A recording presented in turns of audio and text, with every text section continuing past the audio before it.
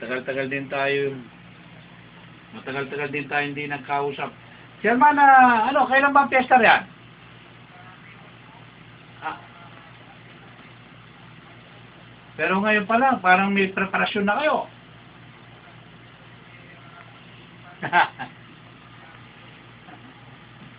ah, ganun.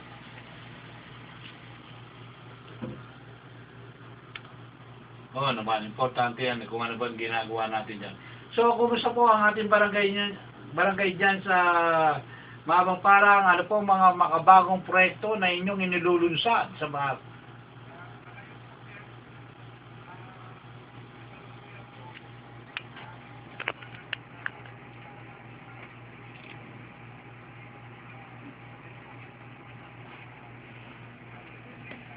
Mhm.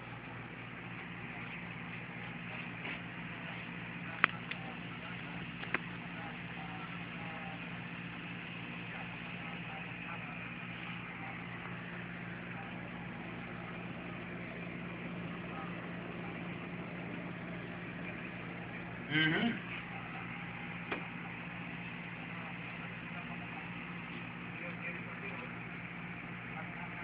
Service. Yes, magandang ah, hapon po sa ating lahat, sa mga sumusubaybay sa programa ng Lingkod Bayan ni Brother Tony Falcon. Metro Manila, Luzon, Visayas, Mindanao, Philippines, magandang hapon po sa lahat. Alright, ano ba ang topic natin ngayon, Brother June? Ito po yung nightmares na, na tinatawag po. Oy! Nightmares, ha? Opo. Ah, Ibang klase ito. meron pang ah, side effect po yan, mga kababayan ng heat stroke Sakit ngayon. ba ito? Sakit?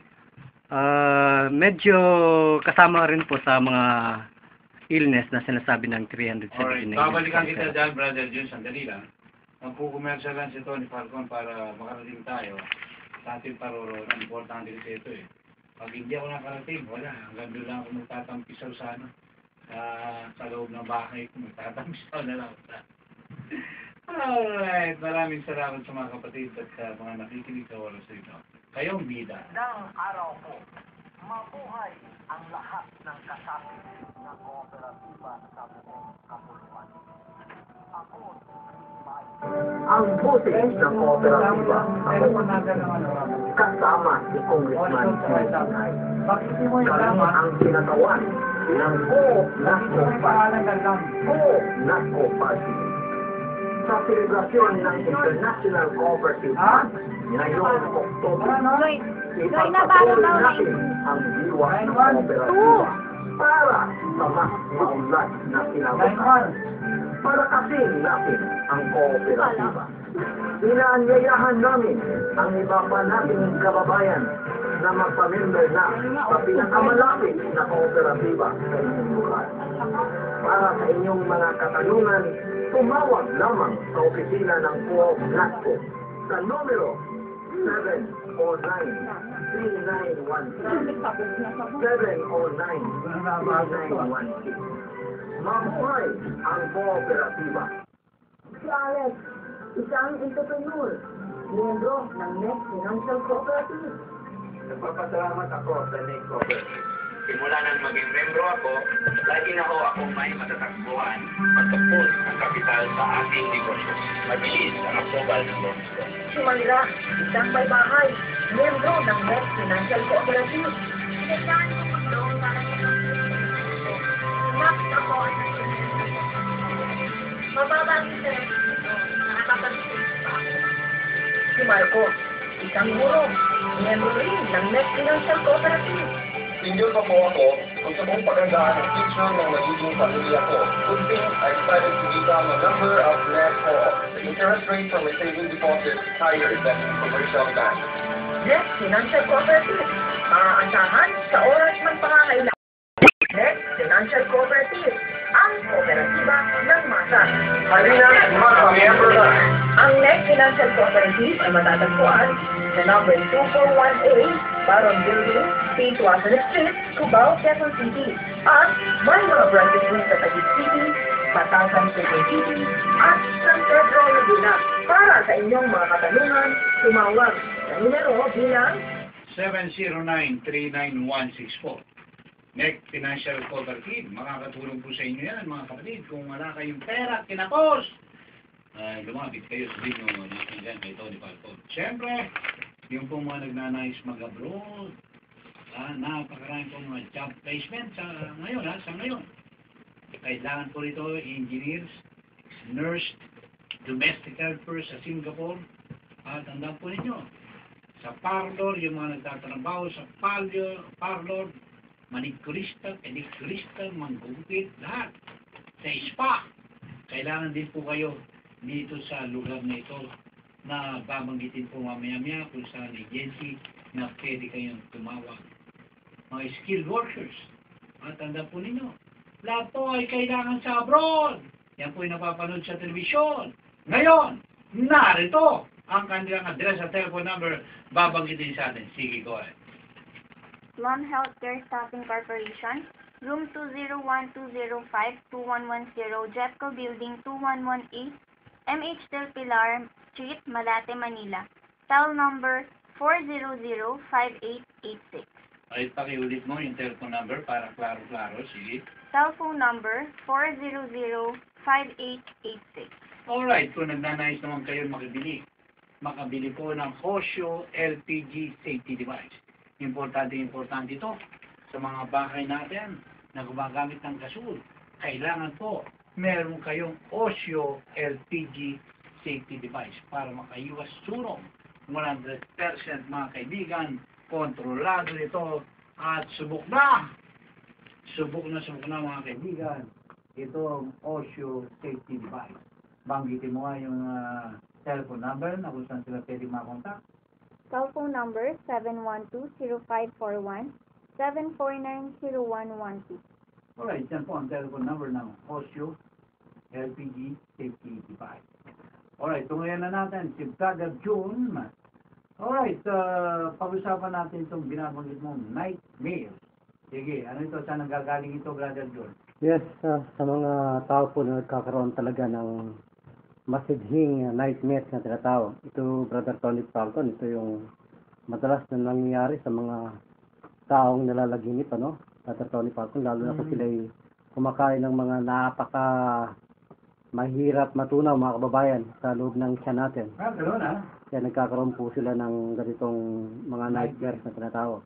Alright, babalikan kita, Brother June. Tatapusin ko lang ito report ni Joy Navarro. Alright, Joy Navarro, please come in. Alright, natagal. Joy Navarro, pakikontak mo uli, pakikontak ang istasyon natin. Joy, pasensya ka na. And dadaldal ni Tony Falcon ngayon. Alright, Brother Jun, tuloy mo. Yes, uh, kung kayo po ay nakaka-experience na ng mga violence, nightmares sa, pagtutu- sa pagtulog natin, lalo-lalo na kung talagang pinapakita na ng ating Panginoon na kayo may fever at uh, sweating kayo, yan po ay isa ng nightmares na tinatawag natin na kung ang profession ninyo ay lagi kayong nasa labas, katulad ng nakita ko sa telebisyon, yung isang PNP dyan sa Caloocan, meron dyan sa Santa Mesa na hinabol. Tinamaan siya ng nightmares, brother Tony Falcon. Patay. Overheat. May tinatawag na heat stroke na tinatawag mga kababayan. Hmm? Sapagkat bago po pa lamang natin magkaroon tayo ng ganyang mga nightmares, marami pong mga symptoms bago tayo magkaroon ng ganyan tinatawag na heat stroke na tinatawag. Unang-una kababayan, yung mga tremendous amount ng internal heat natin, nakikita na po natin na ang katawan natin lagi yung napaka-lamig na kung saan nauubusan na tayo ng fluid.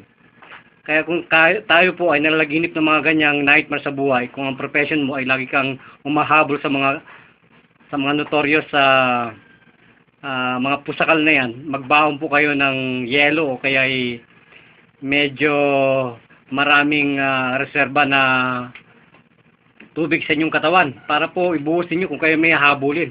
Kasi ang tao na ganito ang nakalag, nakakapalaginip, Brother Tony Falcon, preparasyon na yan para sa atin na maghanda tayo. Sapagkat ang tao niyan, mayroon tinatawag na stomach upset that can cause these kinds of dreaming. So, indigestion, kasama yan, Brother Tony Falcon, heartburn. ito, uh, itong nightmares na ito, nagiging totoo, minsan gano'n. Yes, uh, Brother Tony Falcon, talagang napakahiwaga ng buhay natin. Mm-hmm. So, kung saan, uh, Brother Tony Kung Falcon, napanigipan mo, may papatayin kang tao, parang gano'n, nagiging totoo. gano'n. ah kasama na yun to, Pag Brother mo, Tony Falcon. bibigla ka, may papatayin ka pala. Nawawala ka sa sarili, Brother Tony Falcon. That is about the nightmares of being fear, ano? Mm-hmm. Ibig sabihin, violence. Pumapasok ka sa tinatawag natin mga night, night, nightmares na kung saan meron kang unsolved fear and anxiety. Siguro, binubuli ka nito, no? Katulad nung napansin ko sa television, Brother Tony Falcon, inakyat yung masyadong ah, nagbubuli sa kanya. Sinaksak ang tinamaan yung kanyang pamangkin yata o anak. Kaya napakahirap pa paliwana, ah, paniwala na ang nightmares mga kababayan ay isang violence na tinatawag natin sa ating buhay na kung saan maraming drowsy na tinatawag na nahihirapan ko ang huminga. Yung pala, sinasabi na sa atin ng Diyos na meron ka ng lymphatic ah, problem sa tissue natin, ano? Diyan sa ating bandang ah, puso at sa lungs. Doon lang, Brother ah, Tony Falcon, preparation na natin yun.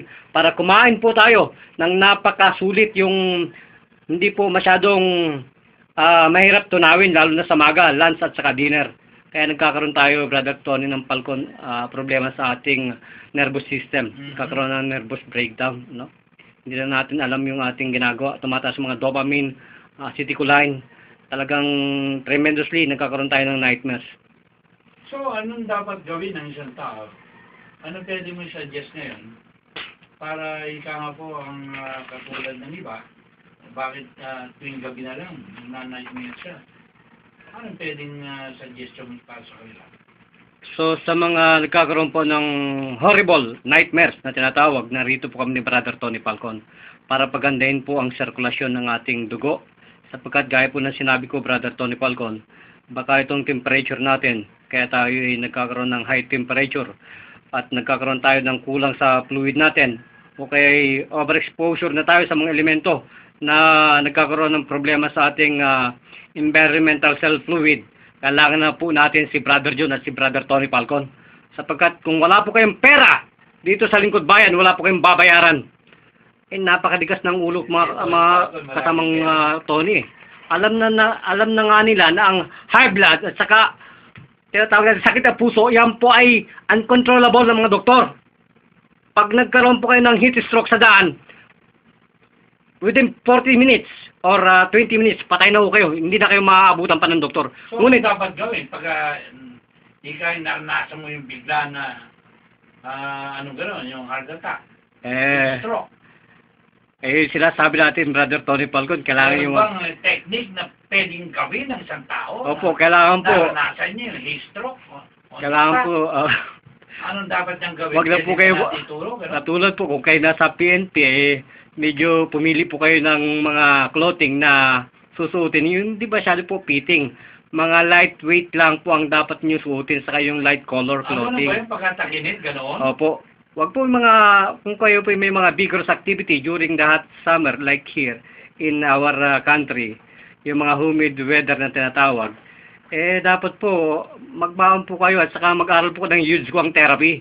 Hindi na natin kailangan pang si doktor na ang bahala sa inyo kasi wala pang 20 minutes, eh, patay ka pag inabot ka ng heart attack at saka uh, heat stroke, brother. Yan ang hindi ninyo napag... Eh, kung marunong ka ng Juice One ay, magaling ka, brother Tony Ah, Falcon. At that time, ah, Magaling ka. Pwede mong makontrol. Yan ang hindi ninyo napag-aralan sa PMMA, kahit Kaya sa Cavite pa. say, Kung inatake ka at that time, marunong kang nitong therapy na ito, Juice One therapy, pwede mong mabigyan ng lunas. Ay wala, wala pang 5 second yan, brother Tony Ganon? Falcon.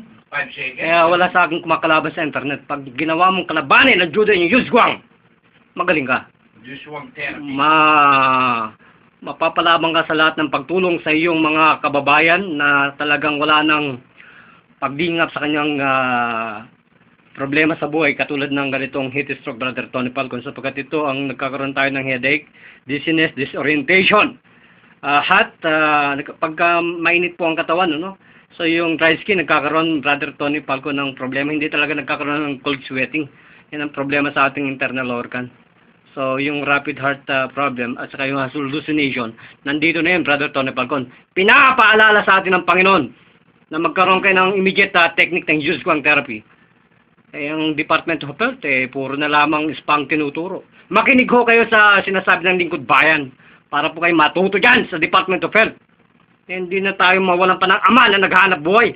Medyo na, na ano ako, brother Tony Falcon, sa pulis na mabait, ano? Biglang na-stroke, patay. Yung kanyang asawa, buntis pa, naiwanan niya. Ang problema sa PNP, ang titigas ang ulo ninyo eh.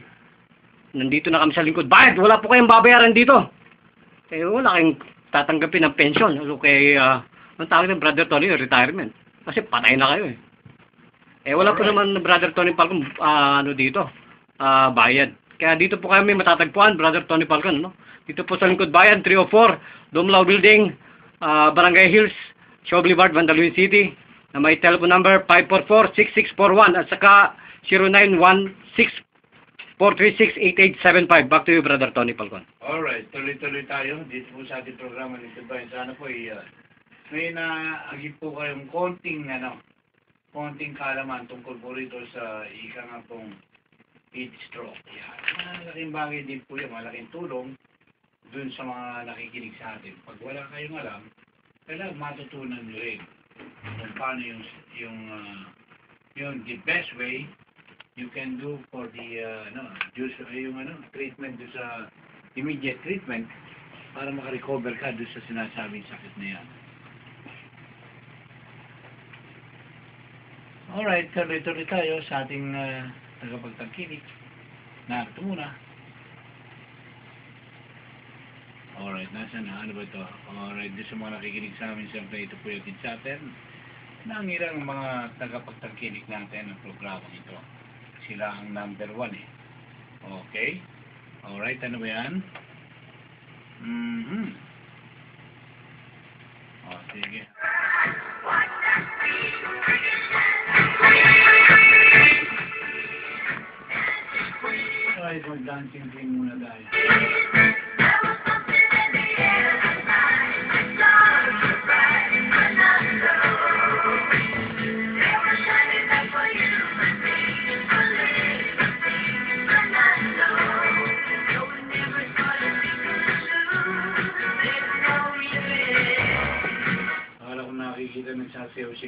Cruz.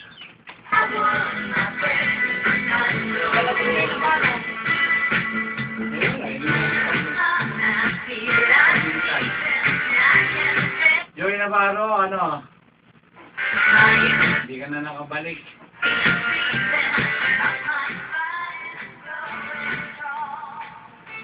Magsasaya muna ako.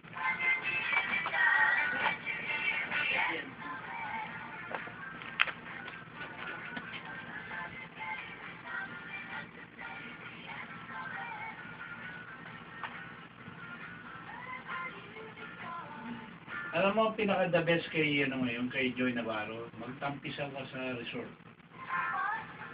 Sumama ka kay Tony Falcon pag nagpunta ako doon sa isang resort na mas malapit sa inyo.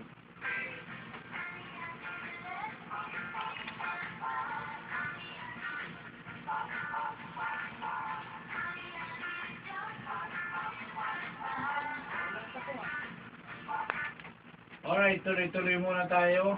Kumusta na kaya sila Fred Salcedo? Ang lalaki ng mga tilapia dinala mo. Talagang nabusog si Tori Falcon. Hanggang kinabukasan, may tilapia pa rin natira. Alam mo talagang basta bumisita si Fred Salcedo, hindi nakakalimot magdala ng malalaking isda. Isa nga, may dala yan, yung ano, yung Blue Marlin. Yung Blue Marlin, mahal pala kilo dun, pero masarap kainin. Ganun eh, kung magdala yan, ganun, kalalaki. Hindi po yung maliliit na isda ang binibili niya. Alright, tuloy muna tayo na itong PC. Oh.